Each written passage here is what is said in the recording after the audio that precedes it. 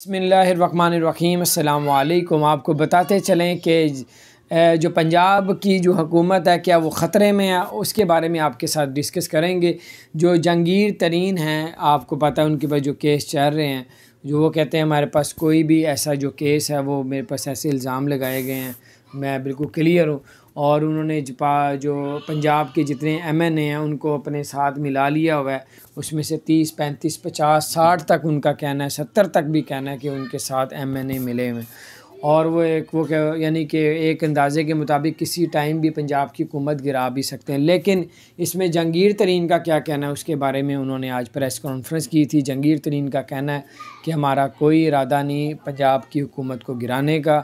ہم لوگ کوئی علیحدہ نہیں ہے ہم بھی پی ٹی آئی اے کے ورکرس ہیں، آج بھی ہیں۔ ہم کوئی بلیک میل بھی نہیں کر رہے۔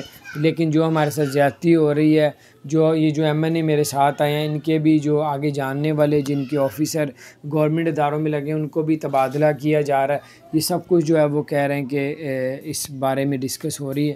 لیکن ہم کوئی بھی ارادہ نہیں رکھتے کہ پنجاب حکومت کو گرائیں۔ تو بہرحال یہ اپڈیٹس جو ہے، بہت سی نکل کے آ رہی ہیں۔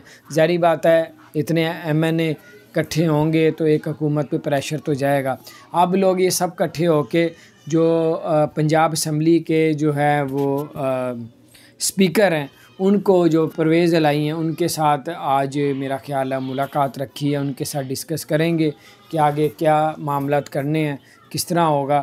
یہ سب کچھ جو ہے جیسی کوئی اپڈیٹ ساتھ ساتھ ملتی رہے گی۔ آپ کے ساتھ شیئر کریں گے اور اپنا خیال رکھیں۔ اللہ تعالیٰ آپ سب کی خیر فرمائے۔ اگر آپ نے ہمارے چینل کو سبسکرائب نہیں کیا تو ضرور سبسکرائب کر دیں۔ بیل آئیکن کو بھی پریس کر دیں تاکہ نئی سی اپڈیٹس آپ تک پہنچتی رہیں۔ اپنا خیال رکھیں۔ السلام علیکم و رحمۃ اللہ وبرکاتہ۔